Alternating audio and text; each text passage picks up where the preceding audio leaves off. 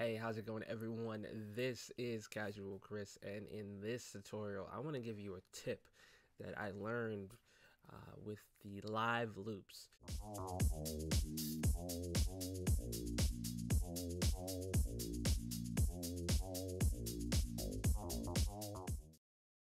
Yesterday I arranged the beat within the live loops and it was off. The timing of the beat was off when I was trying to shuffle through different sounds. And I found out the reason why by reading the manual. It's really the smart pickup option that I was missing. I didn't have the smart pickup option engaged. And when the smart pickup option is not engaged, sometimes the timing of it is off. So if I have an eight bar loop drum and maybe a two bar loop vocal, and I play the vocal at the wrong spot, it will throw off the whole sound of the song, um, which was happening yesterday. I was playing it, I was like, ah, is the bass off? Is is the song off?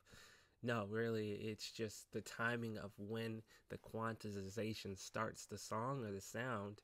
Um, it, it was just off, and all it is is just clicking the smart pickup option, and and that will that's basically what it is. So now when I shuffle through sounds.